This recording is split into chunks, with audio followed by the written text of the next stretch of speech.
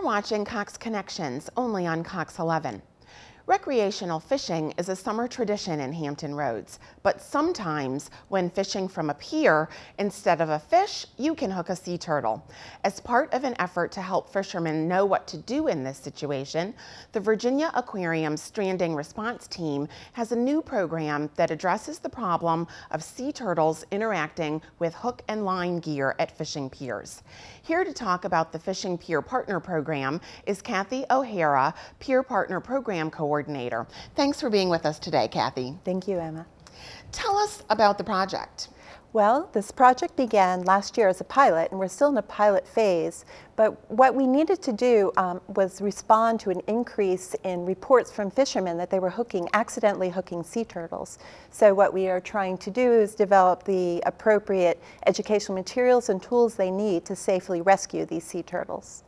And the program, um, it's for pier operators just in Virginia Beach? We have six piers that are part of the pilot program and they extend from Virginia Beach to Buckroe Beach and also the um, Chesapeake Bay Bridge Tunnel.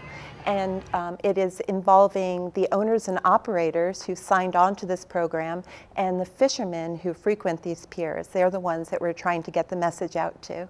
So I understand that the program has three components. Tell me a little bit about those. Well, the very first component is to um, actually educate the fishermen on what they need to do. And then secondly, to provide the um, piers with, with the equipment they need, lift nets to lift these turtles out of the water safely, not just reel them in with a hook in their mouth or their flipper. Um, and then thirdly, working with the owners and operators to actually uh, design what, what is needed as we, as we go along. What we learn is, is necessary, um, signage, and, and so on. Um, so you mentioned that the incidence of hook turtles has has increased, um, but do you think that that's a result of actually more turtles, or just the fact that people know about the program and know to reach out to you? Um, we actually don't know, but in 2013 we had seven hooked sea turtle reports. As of this morning, we've had 29 sea turtles hooked wow. this summer alone, wow. and we're still in the middle of July. So we're not sure what's happening, but we do know that we're doing a really, really good job of getting the information out to the fishermen. And the fishermen and pier owners and operators are doing an incredible job of calling when they, call, when they hook a turtle and getting us there as soon as possible. So it really is an education program for the fishermen and the pier owners to know what to do. So tell us what to do.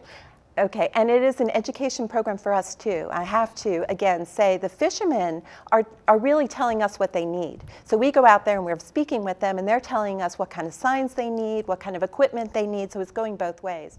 But what we would like fishermen to do, number one, if they hook a sea turtle, is to call us.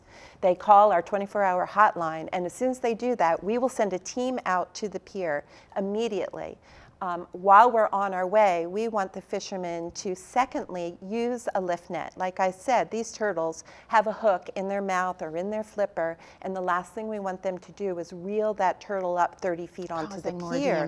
Yes, so lift nets um, have been provided to us by Bass Pro Shops. They donated them. So we have one at every single fishing pier, more than one, um, the fishermen can use that lift net to lift the sea turtle up. Once they have the turtle on the pier, what we want them to do is put them into the sea turtle safety boxes that we provided to the piers. And those boxes are in a quiet and shaded area that reduces the stress to the animal. So then uh, next step is that we'll be there and we'll collect those animals. We bring them back to the stranding center and um, not only do we rehabilitate them, but we've released those animals back into the wild. That's fabulous. Um, so you're seeing success this year, it sounds like. We're seeing so much success. I mean, at this point, you would have to say that we've seen a 300% increase in the number of turtles that we've been able to actually um, recover and release. Uh, and the, the releasing of these animals, it just brings it all together. Last release, we actually had one of the pier owners, um, operator, there at the release with the sea turtle that came from her fishing pier, and she put it down on the beach and watched it go back into so the she ocean. she was invested in all making of us. sure that yes. that animal was okay and absolutely safely released Yes, and back a lot of its home. Exactly, and a lot of these fishermen also, um, once they learn that they're not only rescuing these animals, but they're contributing to the science, to the to the information that we're collecting on these animals. It's it's been tremendous because several of the sea turtles that we're releasing, we actually have um, put transmitters on them. So once they're back in the wild, we've been able to actually um, monitor their movements, and we're learning about a lot of these animals that are critically endangered in some cases. Is there a way that people who are watching the show can get involved? Um, with this program, number one is if they are fishing from a pier, you know, now they know what to do, and not only for their sake, but Call if the they see somebody else, team. yes, to call the stranding response team. But also, the stranding program is largely a volunteer effort, and when I say the team is dispatched, we have staff that go, but the first ones to get there are actually volunteers. They go to those piers. So if somebody would like to become a volunteer for the stranding program, that would be tremendous. And then finally, I have to say, this is probably the best unfunded program we have so far at the aquarium. We have really been um, relying on donations, and uh, we could definitely use donations. Each of these animals, if we have to rehab it, can cost anywhere from 800 to $4,700 Wow. um, for medicine and food. So we, we just didn't budget for this success. So volunteers and donations can go a long way. If people want to find out more, is there a website that they can visit? Yes, they can go to the Virginia Aquarium website and learn about how to volunteer as well as how to donate. Terrific. Anything else that um, people should know that you want to share with, with our viewers? Well, I would have to say that, um, you know, again, it, the, the fishermen that are participating in this program, they deserve so much credit. And these pier owners and operators, this is the first time that they've actually come together on a conservation effort. And um, if you go to these fishing piers, thank them, thank them, because they're doing a tremendous job. Well, I will certainly thank them and thank you for your volunteerism you. supporting the program and thank you for being here to talk with us about it today.